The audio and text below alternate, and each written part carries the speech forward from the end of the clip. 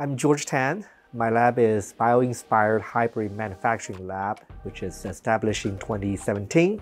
The goal of my lab is to develop and characterize novel bio-inspired fabrication process for biomedical applications, energy applications, as well as environmental applications.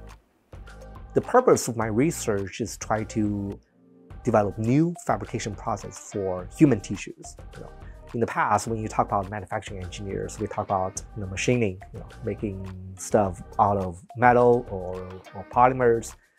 And uh, we are doing something uh, very uh, aggressive. Uh, instead of making those traditional products, how about making living stuff?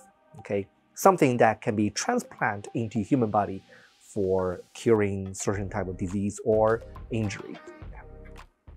So the ultimate goal is if we can directly fabricate living tissues, yeah, or let's say uh, one step further, how about living organs? Yeah, that will be the uh, long-term goal that can benefit millions of patients in the world. This is a hot area that many brilliant researchers are committed to. If we can, you know, contribute to development of some novel solutions that can be finally turned into clinical solutions.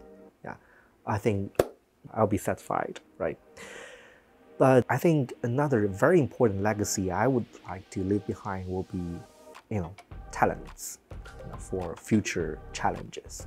As advisor, I think our job is to determine the direction. Uh, we should encourage students to, you know, contribute to the development process instead of just assigning them tasks. Because by the end, they will grow into independent researchers. They should be able to conduct you know, a research by themselves, you know, start their own career. So, you know, my philosophy is to cultivate and train my students to grow, become independent researchers.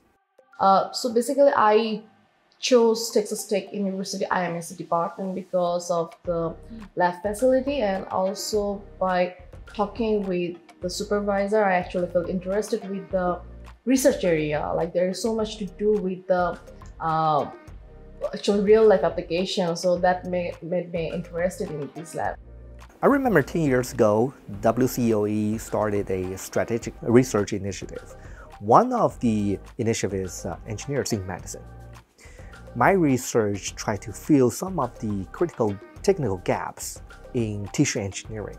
I think that is one of the you know, pillars of today's biomedical engineering challenges, and they're going to contribute to you know, the, um, the strategic goals of WCOE and also help to maintain the leadership of Texas Tech in the cutting edge technology and research. Yeah.